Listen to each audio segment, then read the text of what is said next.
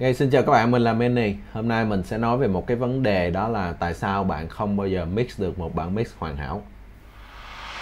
We like to party. It's Manny.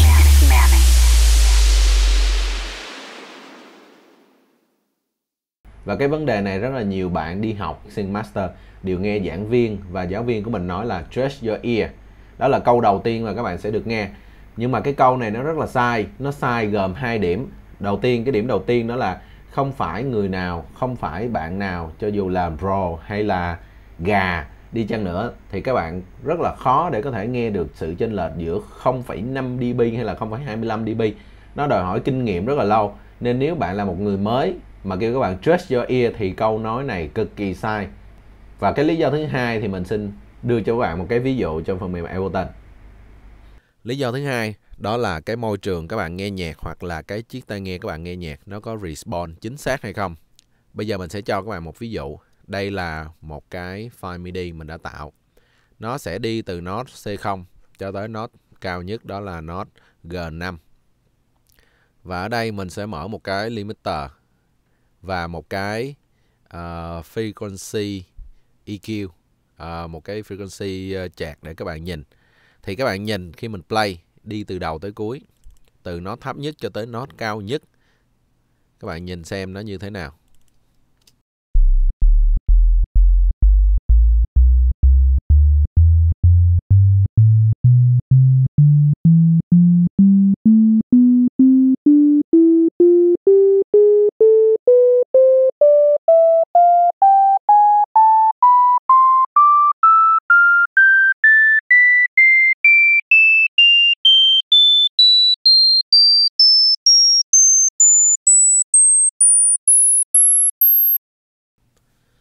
Như các bạn thấy được trên cái limiter rất là rõ ràng đó là cái dynamic. Nó không thay đổi từ thấp lên cao chỉ có những tần số cao nó bị uh, gọt dần xuống. Nhưng mà cơ bản là nó không thay đổi nhiều. Và các bạn nhìn thấy cái bảng frequency về amplitude nó không thay đổi.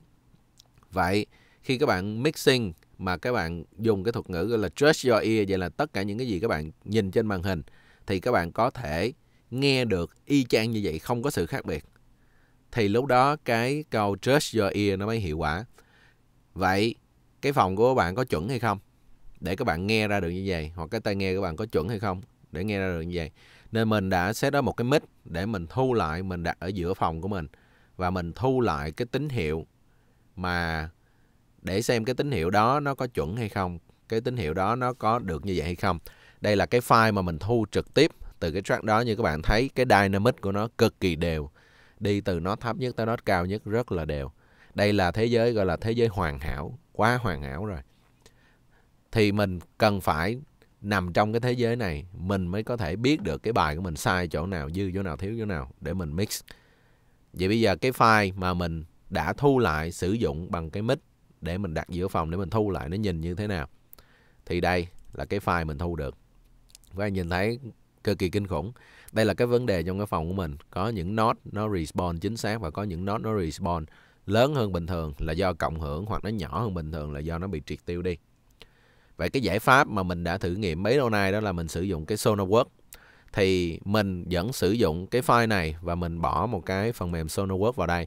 Đây là một cái phần mềm để nó correct lại EQ trong cái tần số của cái phòng của mình. Và sau đó thì mình bỏ nó vào đây để nó correct lại trước khi nó đi ra loa nên coi như là cái loa của mình nó đã correct cho cái phòng này rồi. Và sau đó mình đại đặt cái mi ở giữa phòng mà mình thu lại. Thì đây là tín hiệu mình thu được. Các bạn có thể trực tiếp nhìn so sánh giữa hai cái file này, các bạn đã có thể thấy được cái sự khác biệt rất là lớn. Đó, những cái file mà nó quá lớn, nó đã được gọt nhỏ lại. Và những cái file quá nhỏ thì nó không có thay đổi quá nhiều. Những cái dynamic quá nhỏ nó không có thay đổi quá nhiều. Cái lý do thì mình chưa biết là như thế nào, nhưng mà mình thấy được đây là một cái hiệu quả trước mắt mà nó có thể áp dụng được cho cái câu nói just your ear rồi, còn nếu các bạn nghĩ là vấn đề tại cái loa thì cái vấn đề không phải tại cái loa. Nếu các bạn lên Google, các bạn search frequency reborn curve của Genelec là một hãng loa rất là nổi tiếng, rồi các bạn vẫn thấy đây là những cái loa họ làm.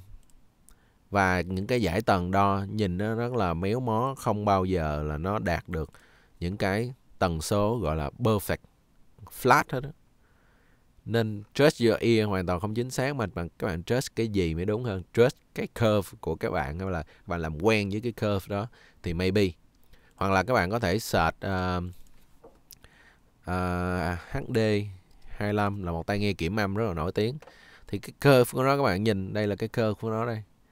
Không cũng rất là kinh khủng rất là gớm thì làm sao mà các bạn có thể áp dụng được cái thuật ngữ trust your ear được, đúng không? Và mình hy vọng sau cái video này các bạn có thể hiểu được ba từ trust your ear nó quan trọng như thế nào và cái môi trường làm việc của chúng ta, thiết bị của chúng ta để chúng ta nghe cái sản phẩm trong quá trình chúng ta làm việc nó quan trọng như thế nào. Mình xin cảm ơn các bạn đã xem video này và hẹn các bạn trong những video sắp tới. Bye bye.